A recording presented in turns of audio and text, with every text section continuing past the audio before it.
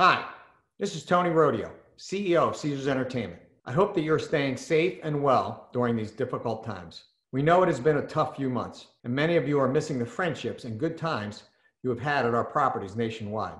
We look forward to reopening and welcoming you back. When you're ready and the time is safe and appropriate, we'll be waiting for you.